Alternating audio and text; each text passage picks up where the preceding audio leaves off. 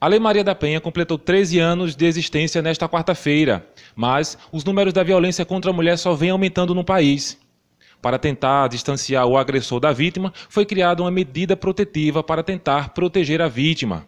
Para se ter uma ideia, nos últimos três anos, 12 mil mulheres foram vítimas de feminicídio e quase 900 mil pediram medida protetiva. Para falar sobre a Lei Maria da Penha, eu estou com a psicóloga Maria Gabriela. Boa tarde. O que essa lei visa? Bom, a lei ela visa punir, prevenir e proteger a mulher vítima de violência doméstica. Durante esses 13 anos, essa lei beneficiou as mulheres? Essa lei deixou a desejar? A lei ela sempre vem para nos proteger e fazer um trabalho a favor da sociedade. Porém, precisa exatamente de mais é, dedicação da sociedade, da, das autoridades legais para que essa lei seja melhor executada e assim proteger mais nossas mulheres, visando sempre que mulher que não denuncia, aí sim é que ela morre. Gabi, durante esse tempo dessa lei Maria da Penha para beneficiar as mulheres, a gente percebe também o aumento da, do, dos crimes contra as mulheres. Tem algum problema em relação às mulheres procurar a polícia, denunciar ou, ou não? Não, isso é um mito que foi criado na nossa sociedade, que mulher que denuncia tal é maior, tem maior risco de vida. Não é verdade. Mulher que denuncia e todas as medidas são tomadas, aí sim sua vida é protegida, até porque o primeiro passo é ir na delegacia e sim fazer uma denúncia. E o segundo é acionar outros órgãos que possam estar visando a garantia de direitos dessa mulher, proteção à vida. Você, como psicóloga que ouve as mulheres vítimas de, de agressões domésticas, o ponto de vista que tu observa, como é que as mulheres agem, qual o maior medo delas denunciarem? Veja, para chegar a uma denúncia é muito complicado, porque essa mulher passa por N questões na cabeça dela, como vou denunciar o pai do meu filho, como foi só um tapa, isso acontece, ele estava com raiva. E diante, quando essas agressões pioram, aí sim é que ela vai tomar uma providência. E quando chegam a tomar uma providência, procurar um psicólogo e um advogado, aí sim as atitudes dela, a gente vai instruir para que ela possa procurar os direitos dela. Mas é bom sempre dizer isso à sociedade, que mulher que não denuncia, aí é assim que acontece a chegar ao feminicídio. Precisamos denunciar.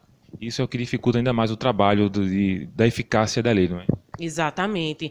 Esse mito que tem que mulher que denuncia que morre. E a gente vê que os dados são crescentes. Muitas mulheres que denunciam, sim, elas são preservadas, elas têm direito à vida só com a denúncia. Mulher que não denuncia, tal, é isso que acontece, o feminicídio, infelizmente.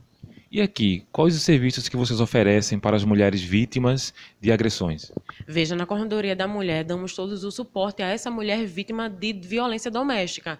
Essa mulher chega aqui, temos a advogada que faz toda a parte com a justiça, tanto de denúncia, de enviar documentos para o Ministério Público. Temos a coordenadora que entra em contato com outras coordenações que visam proteção dessa mulher, seja proteção de retirar essa mulher dentro de sua casa e levar para outro local local, assim, junto com seus filhos, e dá todo um aparato. E comigo, a psicóloga, é toda essa questão é, psicológica dela, de fortalecimento, de recuperação e de de outra forma, é, deixar essa violência que foi cometida contra ela para, para lá.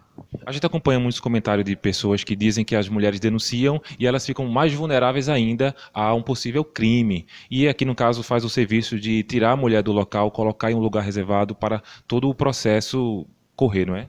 Exatamente. Muitas vezes essas mulheres ficam vítimas disso porque acham que às vezes uma queixa na delegacia é o suficiente, onde essas mulheres elas precisam estar instruídas que não, que existem órgãos que protegem essa mulher, que retiram ela do local com os filhos, da proteção total integral. Então a Corredoria da Mulher, ela faz sim essa transição da mulher vítima disso para outro órgão que vai totalmente protegê-la, um local silencioso, é, sigiloso, onde só a vítima e os familiares, óbvio, que estão é, de proteger ela vão saber e ela vai ter todo esse aparato do Estado para essa situação.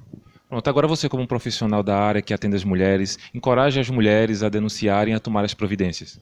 Veja, minha gente, a gente tem que pensar que é, Quando a gente cala, a gente consente. Então, isso, quando a gente mais fica calado, a gente vai permitindo que essa violência vá crescendo. E a gente não pode deixar ela chegar até o último estágio, que é matar. Temos que denunciar. Então, quanto mais denúncia você fazer, entender que isso é para o teu bem, para a tua vida e para a vida de quem ama, melhor para você. Então, faça a denúncia. Se de, denunciar é a única solução para isso acabar.